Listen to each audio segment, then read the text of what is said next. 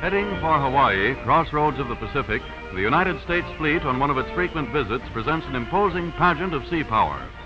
Mighty men of war, but at the same time happy homes for the thousands of men aboard as they sail the seven seas.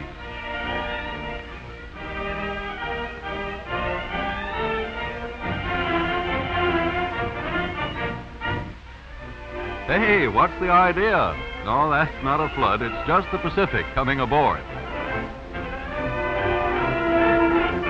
Guardians of our country, our Navy must be prepared for any emergency. And while en route, war games at sea test officers and men, keeping them fit to fight.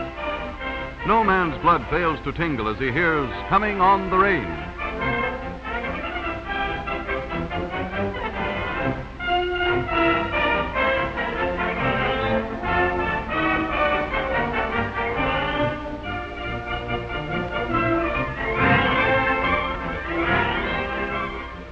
Finally,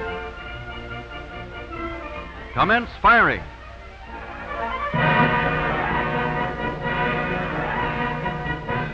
Planes act as the eyes of a modern fleet.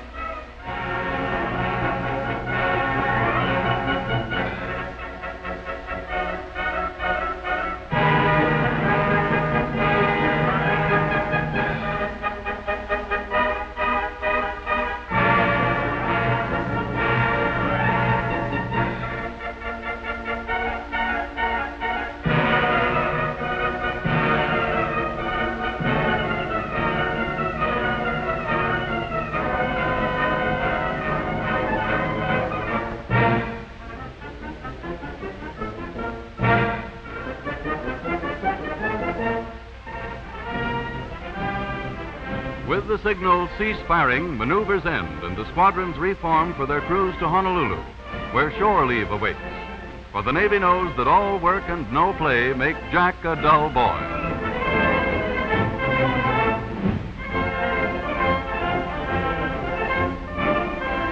But first, captain's inspection is held. Spotless uniforms and a spick and span appearance are the order of the day in the service.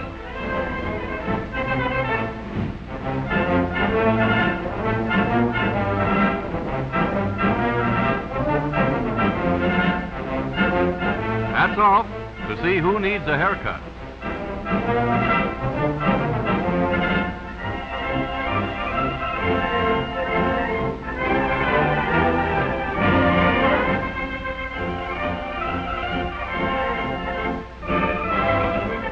And then the fleet is anchored off Honolulu, the promised land of liberty parties. Soon the glad cry of all ashore that's going ashore echoes throughout the ship.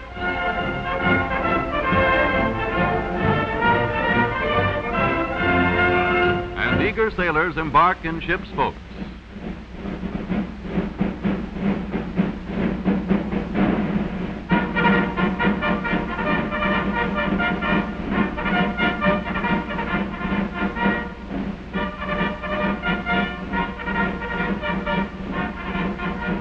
Ashore, the traditional welcome, the Hawaiian leis that greet every visitor. And here's the lad who receives the most flowery welcome of all.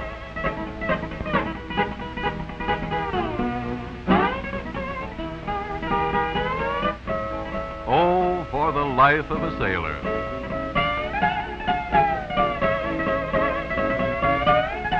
And then it's ho for Waikiki Beach aboard a rolling trolley.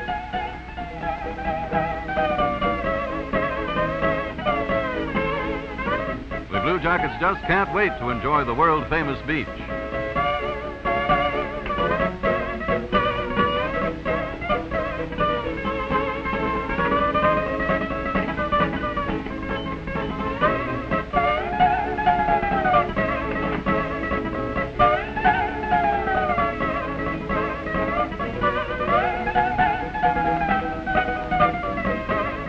A sailor's holiday, to sea with surfboards and native outriggers.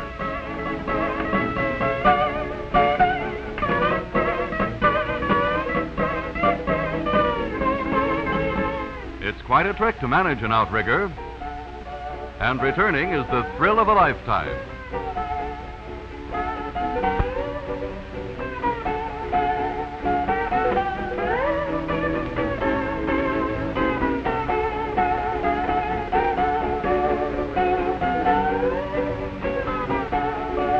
Are experts. But as a rule, it's man overboard on the shoreward trip.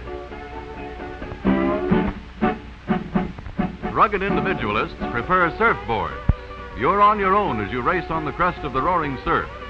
But whether you're good or not, you're bound to be head over heels for the sport anytime.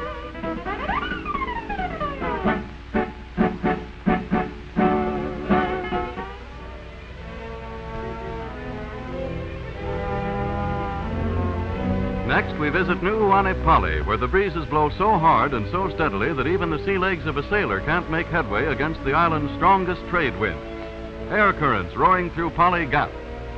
It's a historic spot, too, because here Kamehameha I, Napoleon of the Pacific, united the islands under his rule when his forces drove Oahu's army over the cliff to destruction to the rocks 400 feet below.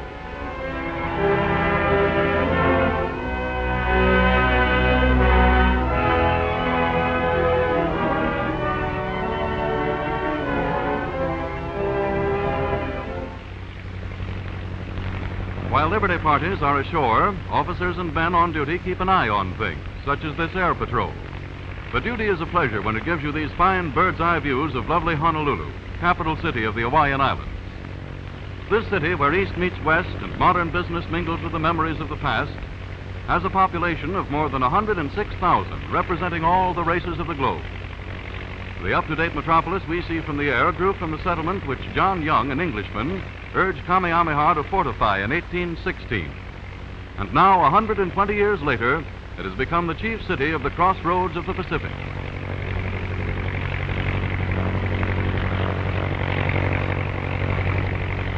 Nearby is world-famous Waikiki Beach, Hawaii's greatest resort, where magnificent hotels are headquarters for the social life of the city. Right at their doors rolls the eternal surf of the Pacific. Due to the contour of Waikiki's ocean floor, the waves surge for great distances without losing their shape, making them ideal for the sport of surf riding.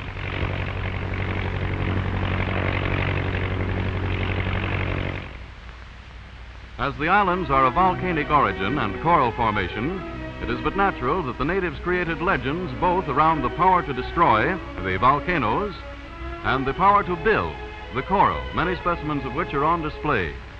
They tell their own story of age-old creation. And if you want coconuts, all you have to do is climb a tree. Or if you're too lazy, get somebody else to go along.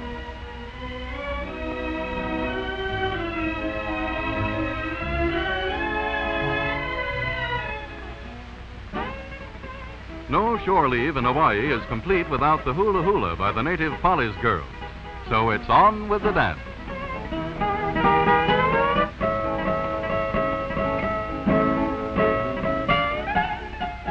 Great shakes for many a young sailor.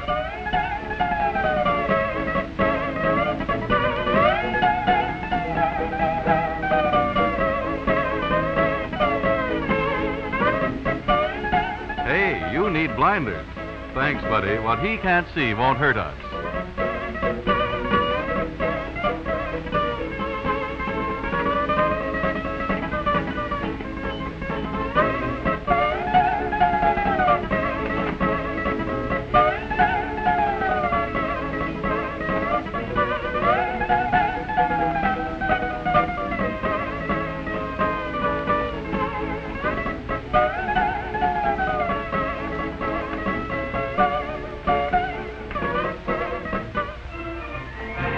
And that's the end of a perfect visit in the paradise of the Pacific. It's time to return to the ship, saying aloha for a little while. Then it's homeward bound with lifelong memories of a cruise to Hawaii and patriotic pride in the imposing gray line of Uncle Sam's great fleet, America's first line of defense.